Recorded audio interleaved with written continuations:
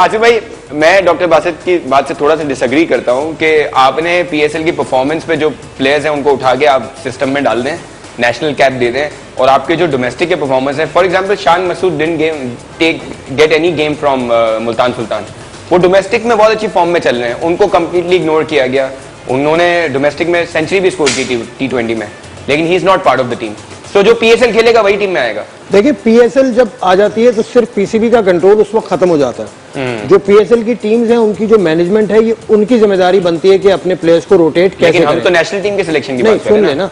तो का- उसको शान मसूद को ना खिलाना मुल्तान सुल्तान की ज़िम्मेदारी थी कि उन्होंने क्यों नहीं खिलाया। और शान मसूद को ना लेना टीम ना में? शान मसूद टी ट्वेंटी में परफॉर्मेंस कहाँ है? जिस सर क्यों? पूरे पीएसएल में नहीं खेला इसके खिलाया नहीं ना PSL में। तो पर कैसी जज होगी फिटनेस कैसी होगी वो एक और क्योंकि शान मसूद के ऊपर हाँ। लेबल है कि वो टेस्ट मैच का है। हाँ। तो उसने अभी तक टी ट्वेंटी में स्पार्क तो उसका नज़र आया नहीं है। सिवाय डोमेस्टिक टी ट्वेंटी के यहाँ पे थोड़ा सा कंपटीशन का लेवल ऊपर था इसलिए वो रैंकिंग में नहीं था नज़र नहीं आया इसलिए वो बात बाकी जो प्लेयर्स जितने भी आपने लिए हुसैन तलत को अगर लिया है आपने या आसिफ अली को लिया है तो आसिफ अली और हुसैन तलत की डोमेस्टिक में परफॉर्मेंस है। सर हुसैन तलत की है, लेकिन आसिफ अली की कोई आसिफ अली आसिफ अली की पिछले सीज़न में भी थी। वेरी एवरेज परफॉर्मेंस और पीएसएल में भी उनको देखे उन्होंने नीचे से आके सिक्सेस हिट किए हैं उसने। लेकिन do think that is the only criteria संभाला फैसल एक ऑर्डर संभाला।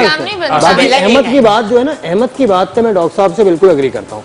अहमद की जो फॉर्म थी वर्ल्ड इलेवन के खिलाफ अहमद सर लेकिन ये थोड़ी डाइकोटमी नहीं है। एक तरफ़ हम कह रहे हैं कि पीएसएल में परफॉर्म किया तो लिया दूसरी तरफ़ हम कह रहे हैं अहमद शहजाद तो पीएसएल में परफॉर्म नहीं किया उसने। ग्यारह के ग्यारह प्लेयर्स आप पीएसएल की परफॉर्मेंस पे नहीं लेते। हम्म। और टीम ऐसे नहीं बनती कि जिसने परफॉर्म कर दिया उसको आप ले लें।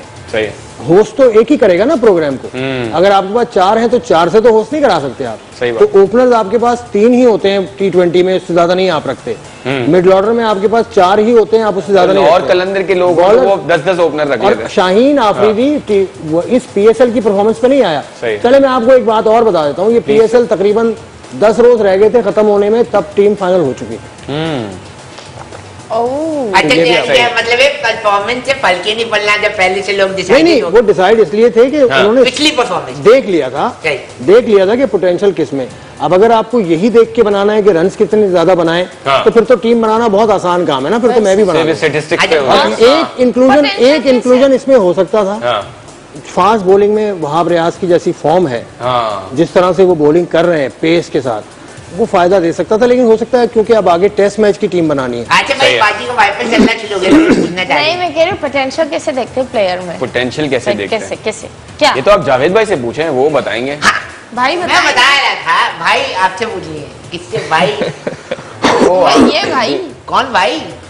भाई आप बता दे यार जावेद भाई आप इस उम्र में भी भाई हैं और क्या चाहिए आपको? क्या कौन भाई? तू खुद होगा भाई। नहीं मेरे भाई भाई भाई। मेरे हाँ। भाई। नहीं भाई हम भाई भाई नहीं है। ये भाई जान बता दो। जान तक सही है भाई भाई का चक्कर है भाई। कुछ भी बोल दो कुछ बोल दो। भाई भाई हटा के सवाल बोल दो अभी जवाब दे दूँ। मैं इधर भाई बोलती हूँ इधर तो सीधा हाँ, सवाल आ सारी जाता है।